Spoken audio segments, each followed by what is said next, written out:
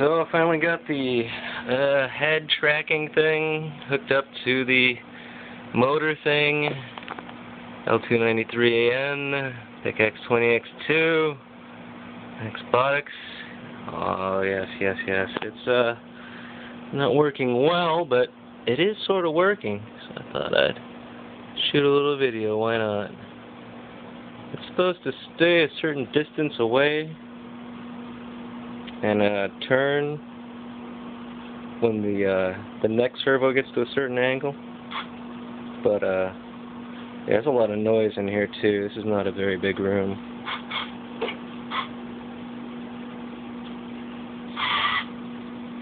Eh?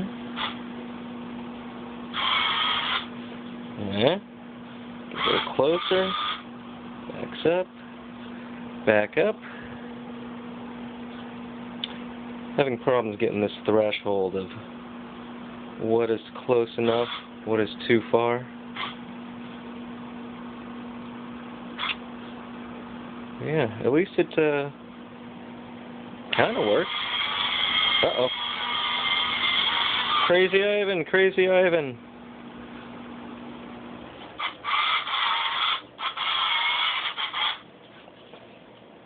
So yeah, uh, refining it, but